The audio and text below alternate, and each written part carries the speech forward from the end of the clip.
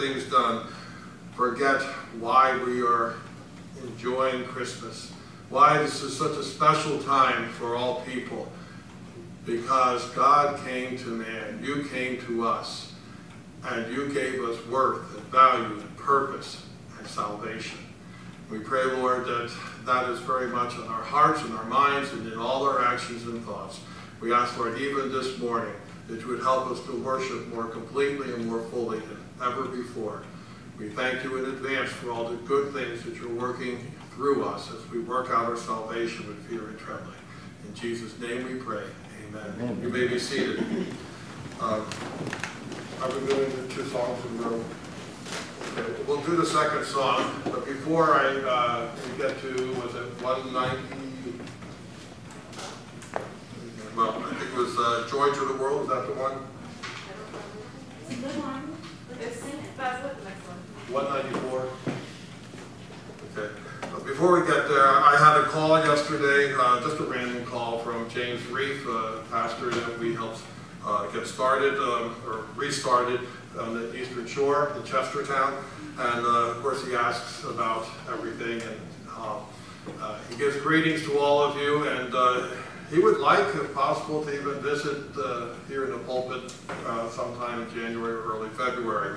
Um, uh, you can pray uh, in his case when he's struggling like all of us, but uh, he does not have uh, people in his church very willing or able to just teach. So all the teaching ministry is falling on him, which he gladly does, but he feels like he and his wife have uh, the load of everything. So you can pray uh, that God uh, enables people to uh, step up in that capacity.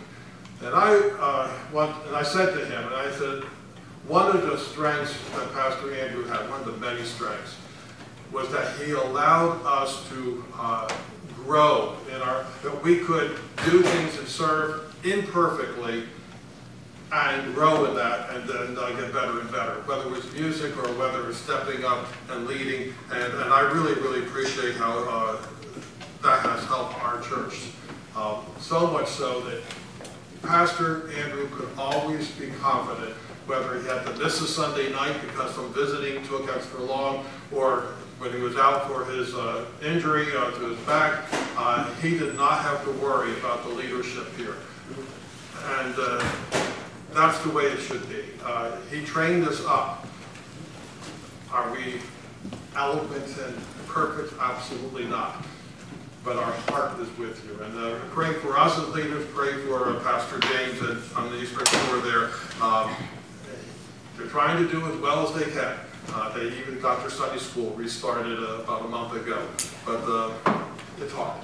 Okay. Joy to the world. You ought to know this one.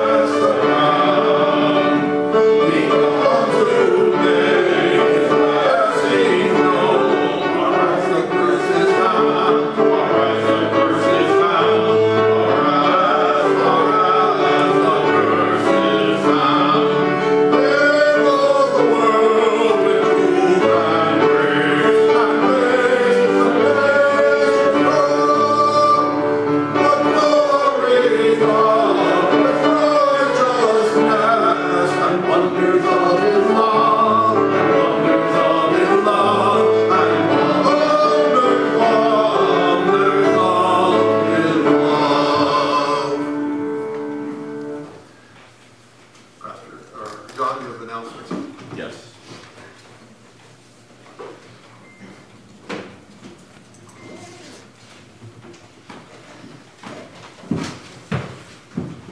Good morning. Good morning. A few announcements this morning. Um, Wednesday, December 9th at 7 p.m. Have a prayer meeting and devotional at the Elders Home. And also, there'll be a midweek message released on, on YouTube. Um, Sunday, December 13th at 10:30. Um, Our guest speaker next week will be Pastor Matt Robinson. Um, And um, just a note this morning, we have Pastor Sam here with us this morning. We were supposed to have Pastor Sean Coffey here, but yesterday, yesterday they had to take his wife to the hospital for chest pains. Um, and, and last night he texted me and said that they took her. This morning he texted me and said that um, she was being released, but she had to go back for an echocardiogram. They think that there's something going on with her heart. Um, I don't know her name, but please pay, pray for Pastor Sean Coffey's uh, wife. Um, he was also, maybe later he'll, he'll be coming, uh, to speak for us, but we'll see. But please keep his wife in prayer, him and his wife in prayer. Um, Monday, December fourteenth at seven P M. Uh, we're gonna have a church council meeting in the fellowship hall. Uh, Tuesday, December fifteenth at seven P M. The women's Bible study at the home of Jessica Myers, uh, having a Mary Heart in a Martha World, chapter twelve. Uh, The offering envelopes uh, for next year are on the table in the vestibule. Uh, For those that have a church account, please pick yours up on the way out. The Olympian Club is to start up again on January 10th. Uh, Please see Eric um, if you'd like to help with Olympian Club. And uh, I heard that um, yesterday we had the uh, Make a Card event at Jess's house. I heard that that went really well, so we thank everyone who was involved in that. We really appreciate that. And uh, I'm sure those that received cards will appreciate that as well. Uh, Also, yesterday we had, I'm sorry, go ahead, I was gonna say, the kids also helped decorate the church. Oh, very good. So the decorations in the church, the They kids. couldn't quite reach the star, so that might need some assistance. All right. Well, yeah, we I appreciate was it. already told that I was, Hank always gets to put the star on top of the. uh, yeah, and I cleaned the refrigerator top too. No one. So, um, yeah, so thank you for, for decorating the church, it looks good, uh, we appreciate that. Uh, team shopping trip was yesterday as well, and Callie and one of her friends went, we went to White Marsh Mall. Um, there, when we got there, there was hardly anybody there, by the time we left, there was quite a few people, but, uh, definitely a big impact there as far as how many people were in the mall. Um, also, Pastor Gary Kramer will be with us. We're not sure when. Uh, I think I mentioned that before. Him and his wife were sick. Uh, last I spoke to them, um, I didn't speak to them this past week, the week before. Uh, they were still in Texas, I believe. He was traveling, or he may have just left there. He, they were traveling a little bit each day, uh, headed up this way. Um, he will be with us at some point, but I'll speak to him. But please keep him and his wife in your prayers as well, as they have not, not been feeling well. So, are there any other announcements that I missed? Hank? Oh, I'm sorry. Then, Benny? I was just gonna let everyone know Jeff, uh, had a fall yesterday and Oh, no. he's having some issue with his knee. He thinks he might have messed his knee up, so No. just keep him in prayer. Yeah, okay, pray for Jeff Cook. Um, yeah, his knee, um, Jeff's a little unsteady walking and, you know, problem with the knee could be a setback. So, yeah, pray for, for Jeff there. Any other announcements? Patty's surgery is Wednesday and pre-op Tuesday at Johns Hopkins, and we're very, very pleased with what God's provided for the right doctor in- in every which way, and we're looking for a complete, good outcome. Very good, very good. Please keep praying for Patty. Um, so Wednesday is the, is the surgery, and God has led them to good doctors that they're happy with, and, um, we trust that He's led them to the right ones with the right skill set, and so on and so forth. So, any other announcements? Okay. I did not bring my paper up that says everything so that I don't forget anything. Well, then So- you didn't forget anything. yeah, I must not have forgotten anything. Uh, yeah, so, are we ready for special music then? Is that what we do next? See, this is why I write everything down. So, okay, oh, and we have one hymn left, right? At the end. At the end. Okay, so you're gonna save that for the end of the service. All right, so at this time, let's have, uh, special music. Which is count. Yes, actually, Justice gonna follow up. Just kidding.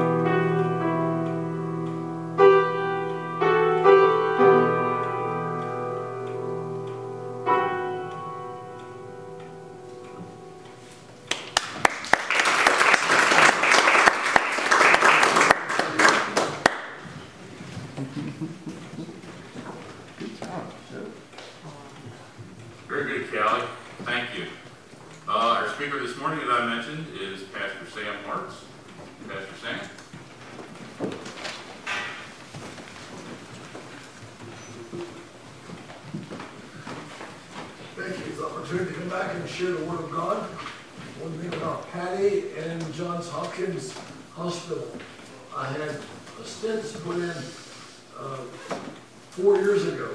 Uh, Great hospital, very professional, they know what they're doing. My insurance company is Johns Hopkins Medicine. The doctors in Frederick are there. They know more about me than I knew about me. So she's in good hands here plus the best hands they created. So let's pray for Patty's successful surgery on Wednesday. Let's bow in prayer. Father, we give thanks for your grace and kindness. Thank you we can come today and rejoice as we think about the birth of Christ, as we celebrate here in December. We do pray for Patty and for the surgery there. We pray that doctors will have a good night of rest before and in good mood to go and the things will work out fine. And our prayer is vertigo will go. And we commit her to you. We pray you bless this service and our time in your word. We pray in Christ's name. Amen. Amen. Turning to the Lord during a crisis. The interesting thing was, uh, I had this message in mind and the one last week. And I wasn't totally sure which one should I do. As I'm telling uh, Terry, the uh, title is the same. The setting is totally different, but the punchline will be the same. So I just have to assume God wants you to hear both of them. So you heard Isaiah, the year the king Uzziah died, was a crisis, an internal crisis, because the king disobeyed the Lord, and God struck him with leprosy. Our crisis today is an external crisis. So last week, internal crisis, this external, but it's still a crisis. We're looking in Second Chronicles 20, verse 12. O our God, wilt not thou judge them? For we have no might against this great company that comes against us. Neither know we what to do, but our eyes are upon you. Our first point is, O our God, wilt thou not thou judge them injustices in society? When we look the previous verses, verses 1 through 11 in Second Chronicles, we find that they had a report that the Moabites, the Ammonites, and those of Mount Seir were gathering and they were preparing war. The problem with Moab and Ammon, they were children of Lot and his daughters. Lot was Abraham's nephew. These people are descendants of Abraham. So there's nothing like a battle with relatives. Nothing like siblings getting at it. Now, I didn't have that problem because I'm an only child. Uh, the Martz family in Maryland got along great. My dad and his brothers, they were all farmers. In those days, you had to farm together. You didn't have enough equipment for yourself, so uh, I'm not used to that. But there can be pretty good battles among relatives. So Moab and Ammon were Lot's descendants. Mount was Esau's descendants. Esau and Jacob. So this threat that they're getting came from neighbors that were relatives. And in the story, we're going to see it later on unfold, when Israel left Egypt going to the promised land, these people battled them. And uh, they wanted to wipe them out. And God said, don't bother them. So now, Jehoshaphat the king is saying, Lord, if you let us wipe them out, we wouldn't have this trouble. Isn't it interesting when people try to give God advice? You ever hear people say, Lord, if you'd done this or that? Now, I don't know about over here, but over in Frederick County, God's never made a mistake. He never made a mistake here. So there's kind of this first thought, oh, our God, will you not judge them, Lord? When are you going to straighten out this mess we're in?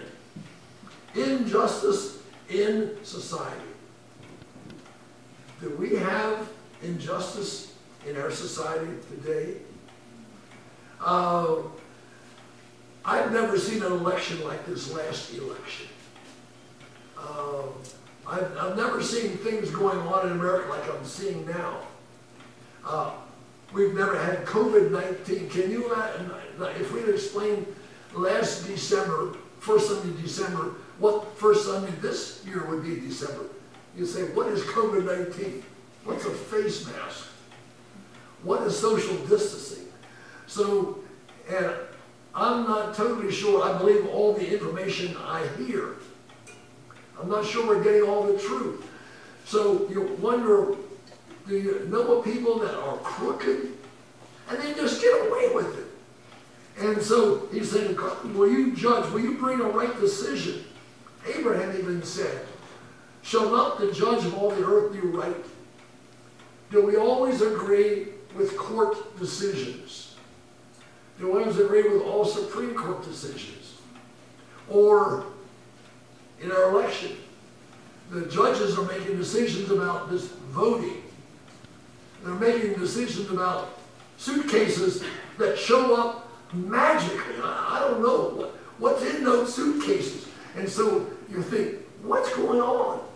And we're saying, God, when are you going to straighten them out? Let's go further on. In Habakkuk it says, Thou art of eyes than to behold evil, you cannot look on iniquity.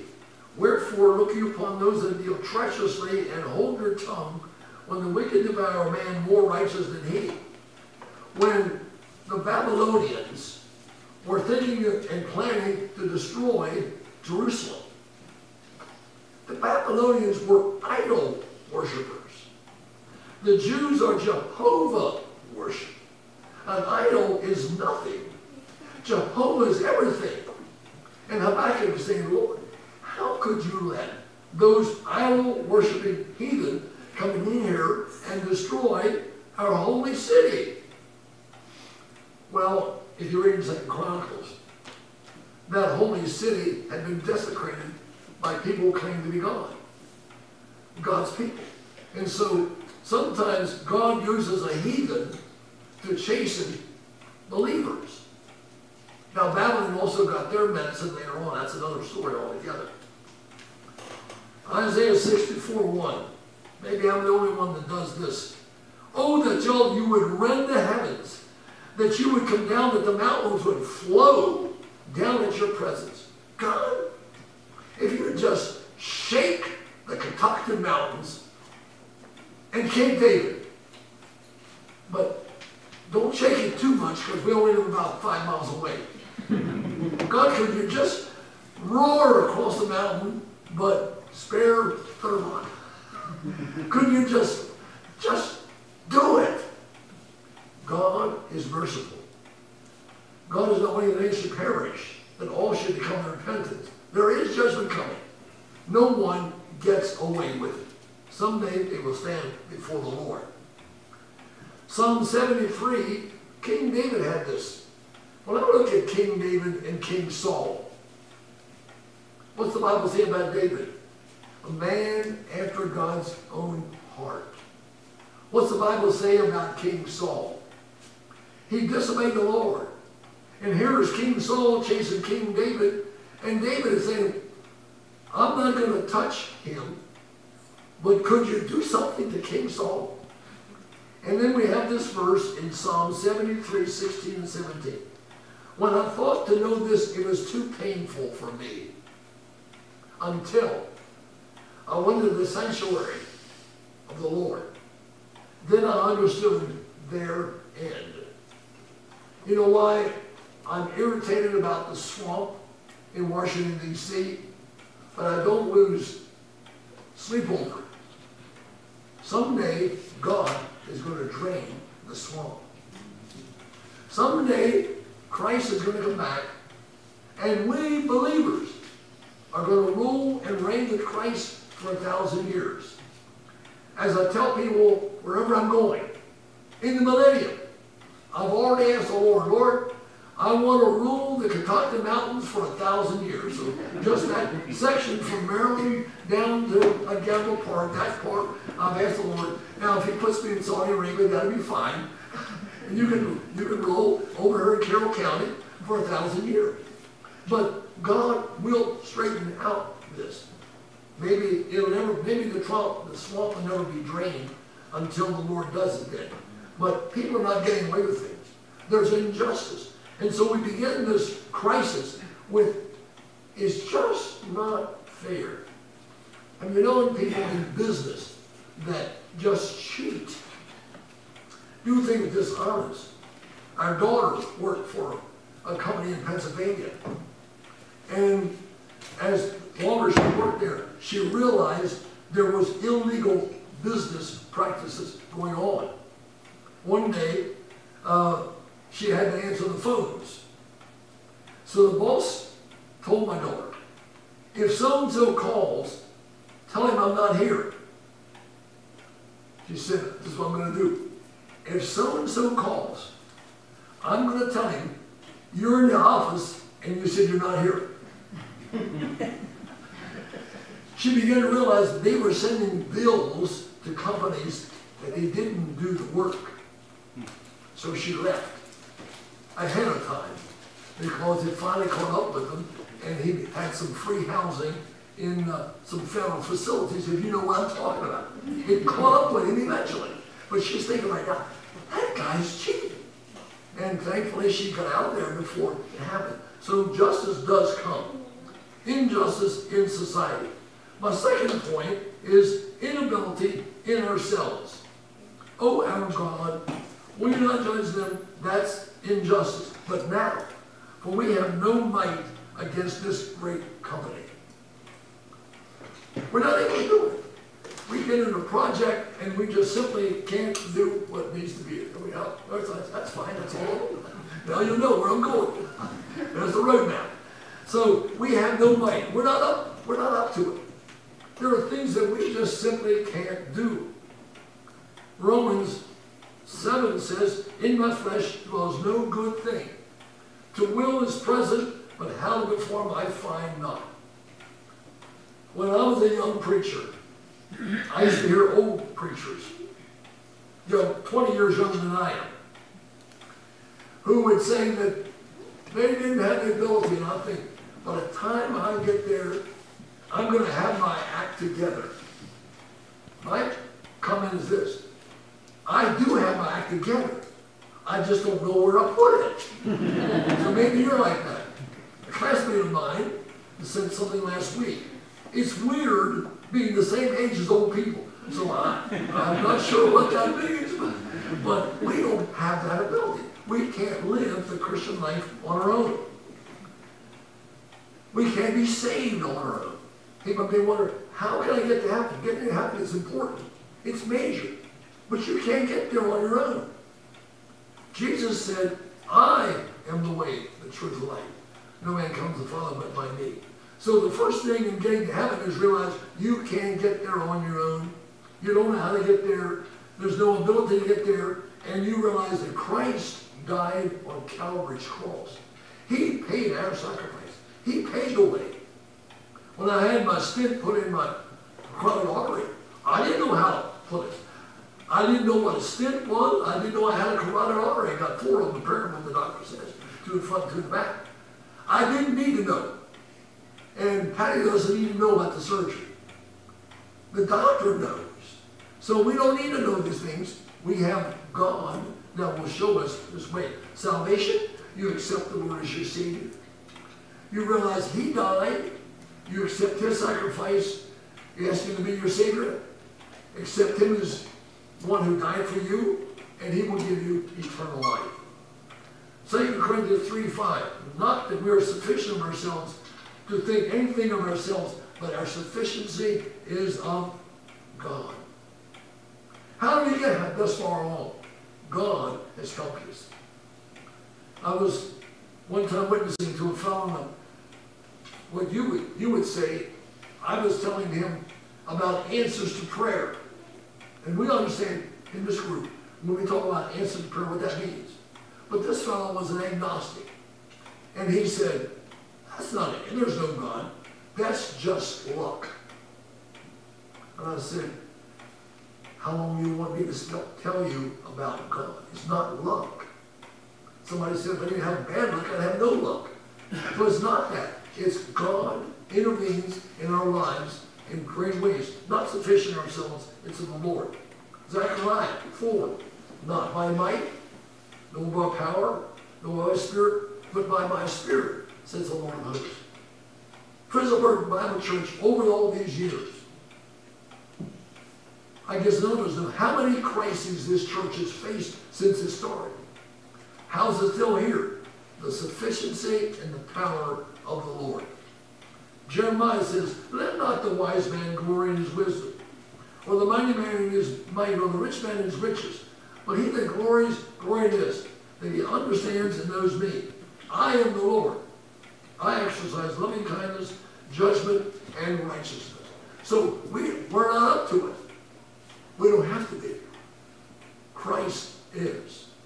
Have you ever prayed to the Lord and the Lord says, I'll have to think about that. Put that on hold. Now, when you order something, sometimes it's put on hold.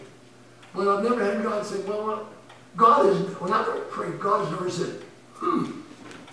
No one ever thought of that. God knows everything, and our insufficiency, inability, is an opportunity for the Lord to work in our lives. And the greatest victories I've had in my life is when I wasn't able to do anything. And the Lord did it, so he would receive the glory. But the next point is indecision in our situation. We don't have any money against this great company, neither know we what to do. You ever find yourself in a situation you just don't know what to do? You don't know who to depend on. You don't know who to call. You don't know what to do. I guess that partly was true with Patty at first. First vertigo, what do we do? Uh, and then I guess some doctors didn't know. Thank the Lord, some doctors did finally know. What do we do now? Uh, when you have a situation like Patty, and they say, you know, take a pill and call me in the morning. That is not going to work. And so we don't know what to do. James says, a double-minded man is unstable in all his ways. So we find situations in life, we believe God, we know the Lord, but we just simply don't know what to do. Uh, even around the house, I try to always know people that I can depend on that know more about something than I do. We don't know what to do. The reason why this verse is important in our life, my wife and me. I read my Bible through every year, starting Genesis 1-1 and January 1. On April 25, if you're reading through the Bible in a year, you're going to be in this passage of Scripture. So I was reading my Bible through in a year, just as the plan was. But there's something unique about this verse. We had had our home for sale in Atlanta, Maryland, near DC. We had bought the land and had a house built for us in Thurmont. And so we were able to get a, a contract to sell the house down in DC on a Monday. The following Monday, we go to Thurmont, we buy a house. Now, what's the problem? You sell a house one week, you take the money into the bank, and you pay off the mortgage of the new house the next week. So that Monday, settlement was at two P M. My wife and I uh, had cleared out the house. At twelve noon, we were out of our house, locked the door. My van and the car, I'm driving the van, she's driving the car.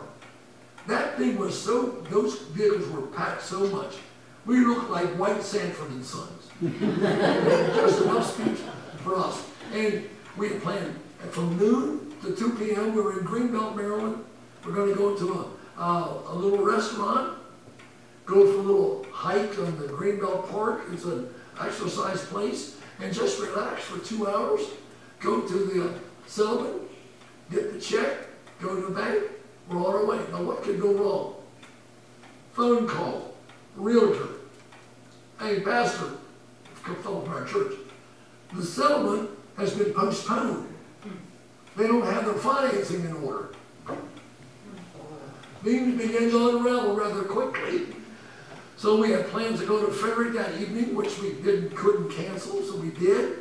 Uh, we had a walkthrough of our new home in Thurmont on Tuesday. I went to the loan, we had made an application, but we hadn't finalized the loan. Just in case. I almost felt it was lack of faith. But I called the realtor, hey, are we on? No, no settlement on. I asked them, uh, the loan company, when do I have to decide? They said noon, eleven forty-five. We take out the loan, we go to Pennsylvania, and that, that next Monday's coming. The next morning, which would be, would be uh, on a Wednesday morning, on May twenty-five, I did what I always do. I get up and I read my Bible.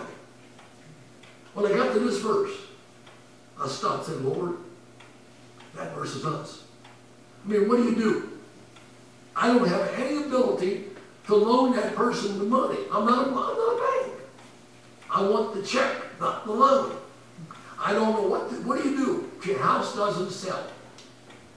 We're now an hour north of Harrisburg, Pennsylvania. So I read, and I said, Lord, we don't have any might. We don't know what to do. But our eyes are upon you. So I finished my devotions.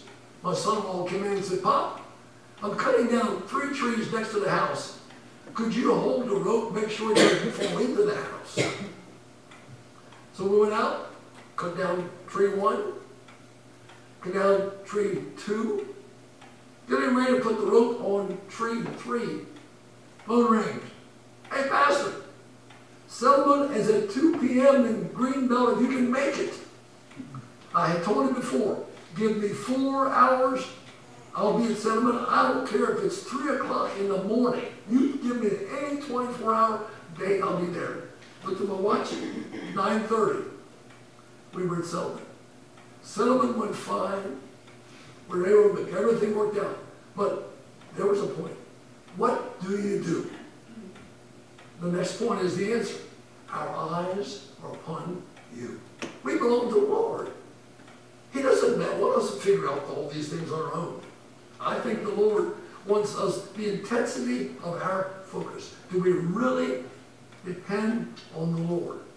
Or it's always, I can do it myself. Now, part of the problem I have as a Marx growing up on a farm, we were independent. We did everything ourselves. We had a John Deere tractor. One time, it wouldn't run right. My dad watched what the mechanic did, and the mechanic never came back. Because my dad figured out how to, how to adjust things. So I grew up on the dirt road. In the winter time, if you want to get out, you shovel your way out. You don't wait for somebody else.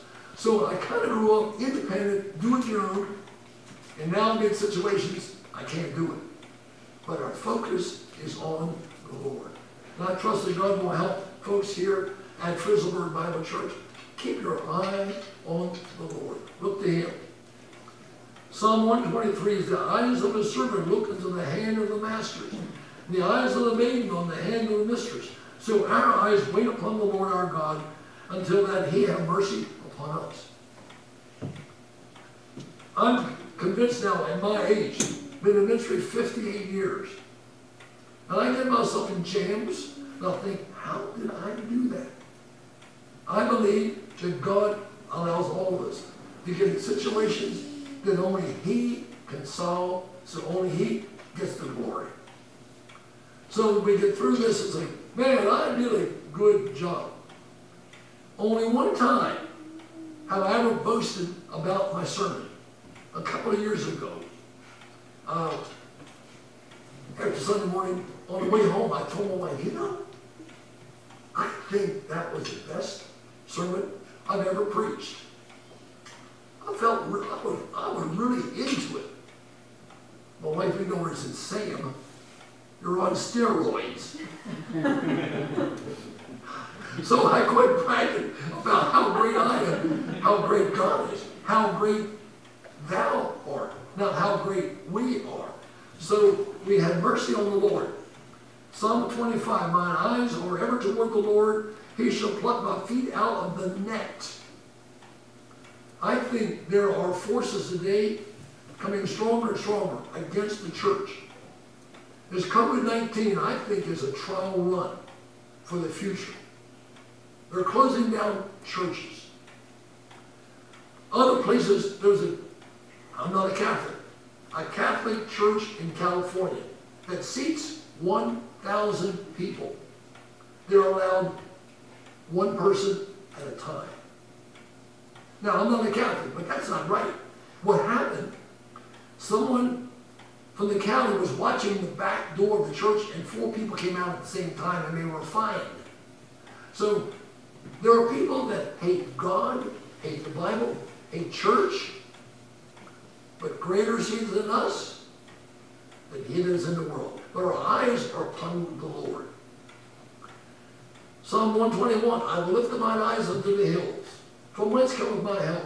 My help cometh from the Lord who made heaven and earth. So we're watching today, we're looking to the Lord to lead us and direct us. Then Psalm 32, 8, I will instruct thee and teach thee in the way which thou shalt go. I will guide thee with mine eye. I don't know if this church has ever had a choir, or sometime or other have a choir, but one thing that we, we always hammer into people, when you're in a choir, you focus on the choir director. Now I know it's fun when you have children's choir. And the great little kids go, hi Bobby, hi, hi Grandpa. No, but when adults do it, it's pretty bad. He had a good voice, but I could tell he wasn't watching the director. Because when she would cut off, I could still hear another syllable going, and he wasn't watching the director. Watch the director when you're singing in a choir. And for us, watch the Lord at all times. A verse that I claim all the time, James 1.5. If any of you lack wisdom, let him ask of God, who gives all men liberate and upbraids not, and it should be given. Proverbs 3, 5, and 6, my mother's favorite verse. Trust the Lord with all your heart. Lean not into your own understanding. In all your ways acknowledge him, and he will direct your paths. God is leading us. Let's keep our focus on him.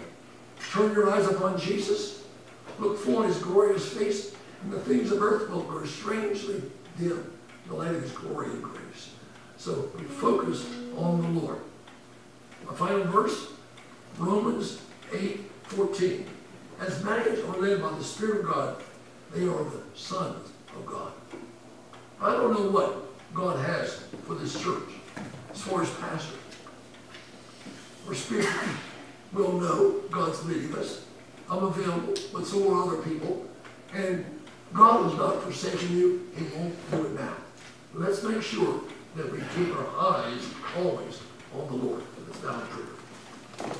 Father, we give thanks today for your grace and kindness. Thank you that we keep our eyes on you. And you know what's best. You will lead this church in ways that will glorify you. Again, pray for Patty, and you'll guide the medical profession in that surgery. And we pray that we'll soon see her back in this church as a walking testimony of your goodness and kindness to us. Those that don't know Christ, we pray to look to you, call upon you in salvation. We pray in Christ's name.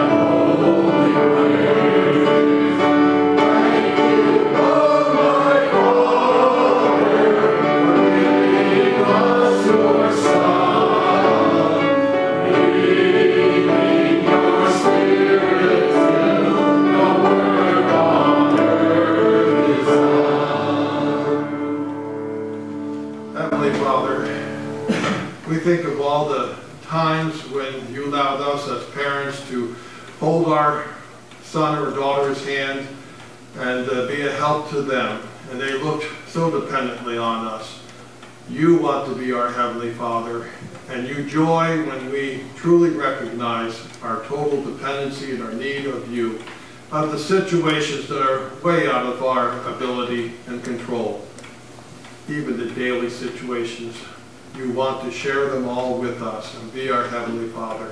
Help us then to put our eyes completely towards you as loving sons and daughters. We ask, Lord, that this week would be a week that we trusted you more than ever before. We thank you, Lord, that you are a faithful Father. In Jesus' name we pray. Amen. Amen.